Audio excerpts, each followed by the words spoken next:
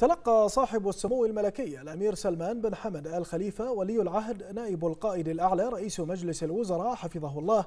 برقية تهنئة من صاحب المعالي المشير الركن الشيخ خليفة بن أحمد آل خليفة القائد العام لقوة دفاع البحرين.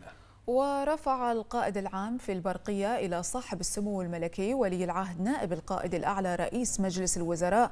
أسمى آيات التهاني والتبريكات بمناسبة الذكرى الحادية والعشرين لإقرار ميثاق العمل الوطني.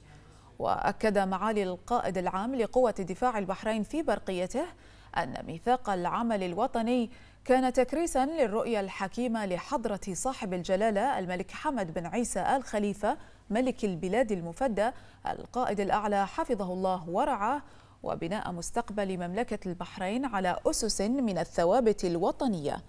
داعيا المولى العلي القدير أن يمد صاحب السمو الملكي ولي العهد نائب القائد الأعلى رئيس مجلس الوزراء بعونه وتوفيقه ويديم على مملكة البحرين الرفعة والتقدم.